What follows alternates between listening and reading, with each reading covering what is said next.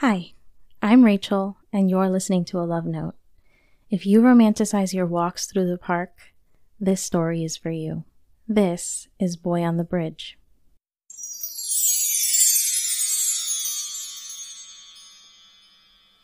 Oh no, there's a boy on the bridge. And that's not just my social anxiety acting up. He's standing stiffly on the outside of the wooden railing, his arms stretched behind him, gripping the edge. He doesn't acknowledge me when I approach. Not for the first time, I ask myself why I decided to take the mysterious Greenway Trail today. Usually I'm a loop girl. I love walking in a circle. Every time I come to this park, I take the White Deer 1.2 mile loop. See some flowers, breathe some fresh air, get my steps in. Done. But today, something said to me, Why don't you try something new? I don't like new things. It could be fun. I doubt that. Just go. So I went. The sign didn't even say how long the trail is. I could be walking down this path forever, or so I thought until I got to the bridge. It's not a rickety bridge by any means.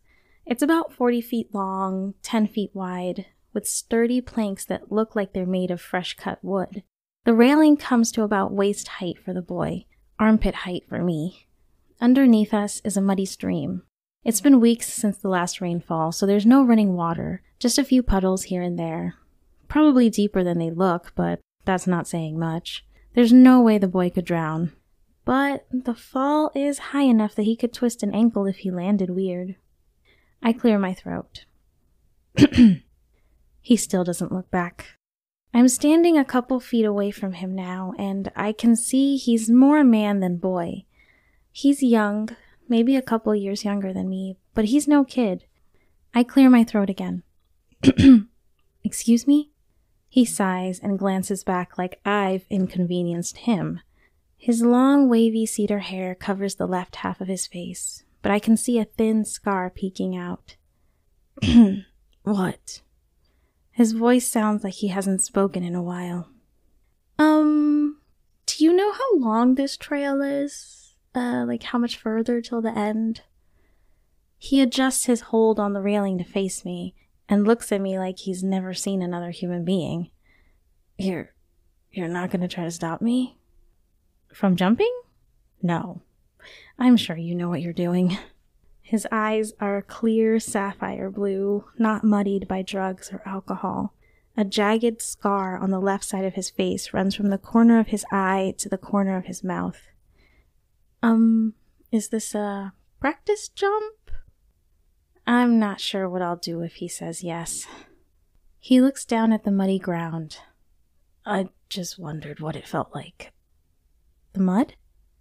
No, the fall. He pulls himself up and over the railing.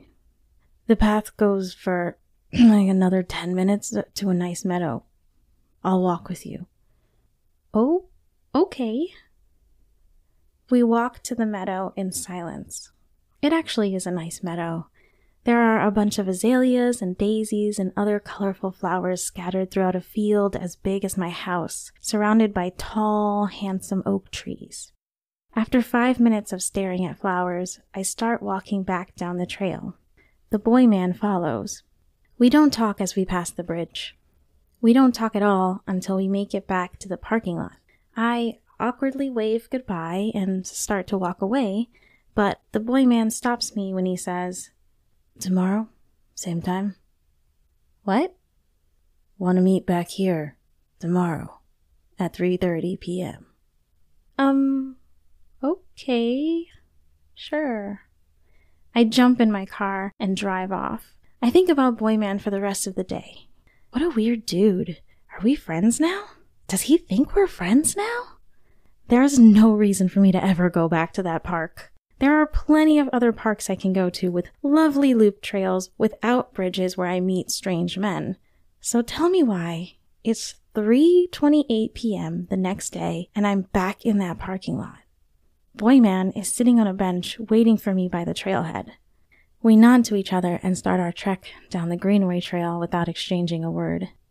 I, I guess we're walking partners now.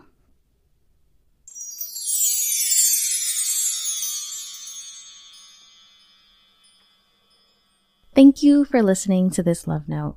You can find the written version of this note through the link in the show notes at rrondon.com.